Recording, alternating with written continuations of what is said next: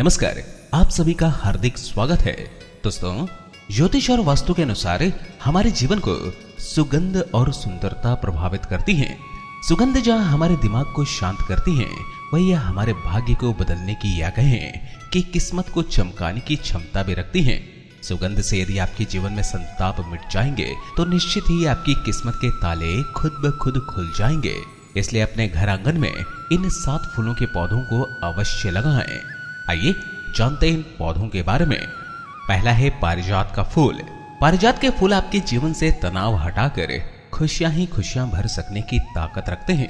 पारिजात के ये अद्भुत फूल सिर्फ़ रात में ही खिलते हैं और सुबह होते होते वे सब मुरझा जाते हैं। यह माना जाता है कि पारिजात के वृक्ष को छूने मात्र से ही व्यक्ति की थकान मिट जाती है। इन फूलों को खास तौर पर लक्ष्मी पूजन के लिए इस्तेमाल किया जाता है। लेकिन केवल उन्हीं फूलों को इस्तेमाल किया जाता है, जो अपने आप पेड़ से टूटकर नीचे गिर जाते हैं। यह फूल जिसके भी घर आँगन में खिलते हैं, वहाँ हमेशा शांति और समृद्धि का निवास होता है। दूसरा रात रानी के फूल। इसे चांदनी के फूल भी कहते हैं। रात रानी के फूल मदमस्त खुशबू बिखेरते हैं। इसकी खुशबू बहुत दूर तक जाती है। इसके छोटे छोटे फूल गुच्छे में आते हैं तथा रात में खिलते हैं और सवेरे सिकुड़ जाते हैं। रात रानी के फूल साल में पाँच या छह बार आते हैं। हर बार सात से दस दिन तक अपनी खुशबू बिखेर कर बहुत ही शांतिमय और खुशबूदार वातावरण निर्मित कर देते हैं। जिसके भी नाक में इसकी सुगंध जाती है, वह वहीं ठहर जाता है। इसकी सुगंध सूंघते रहने से जीवन के सारे संताप मिट जाते हैं। रात रानी और चमेली के फूलों का इत्र भी बनता है। रात रानी का पौधा एक सदाबहार झाड़ी वाला तेरह फुट तक हो सकता है। इसकी पत्तियाँ सरल, संकीर्ण, चाकू जैसी लंबी, चिकनी और चमकदार होती हैं। फूल एक दुबला ट्यूबलर जैसा साथी, हरा और सफ़ेद होता है। तीसरा है जूही के फूल। जूही की झाड़ी अपने सुगंध वाले फूलों के कारण बागीचों में लगाई जाती हैं। जूही के फूल छोटे तथा सफ़ेद रंग के होते हैं और चमेली से मिलते जुलते हैं। फूल वर्षा ऋतु में खिलते हैं। इसकी सुगंध से मन और मस्तिष्क के सारे तनाव हट जाते हैं और यह वातावरण को शुद्ध बना देता है। चौथा है रजनीगंधा। रजनीगंधा का पौधा पूरे भारत में पाया जाता है।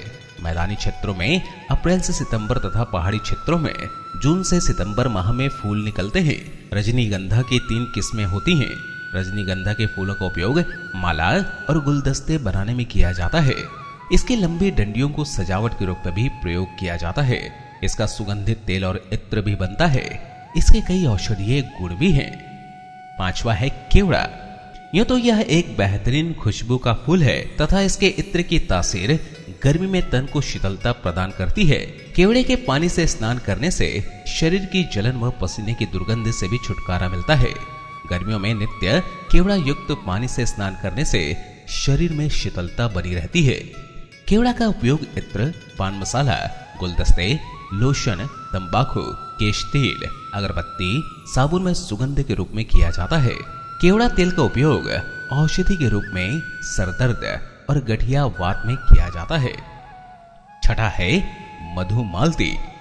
लाल, गुलाबी, सफ़ेद रंग के गुच्छों में खिलने वाली मधुमालती के फूल बहुत ही सुंदर दिखाई देते हैं। इसकी महक से आसपास का वातावरण महकता रहता है। लगभग पूरे साल इस पर फूल लगते रहते हैं। यह बालकनी गेट पोस्ट पाड़ छत खंबे दीवार को कवर करने के लिए बेहतरीन लता है ये फूल रंग बदलते हैं पहले दिन सूर्योदय के समय जब इसके फूल खिलते हैं तो ये सफ़ेद रंग के होते हैं दूसरे दिन वही फूल गुलाबी रंग में बदल जाते हैं और तीसरे दिन गाढ़े लाल रंग में इसमें सफ़ेद रंग के छोटे फल भी लगते हैं जो बाद में भूरे रंग के हो जाते हैं मधुमालती के पेड़ के लगभग हर भाग का आयुर्वेदिक उपचार में प्रयोग होता है सातवां है ब्रह्म कमल। एक तो होता है सादा कमल, दूसरा होता है नीलकमल और तीसरा होता है ब्रह्म कमल।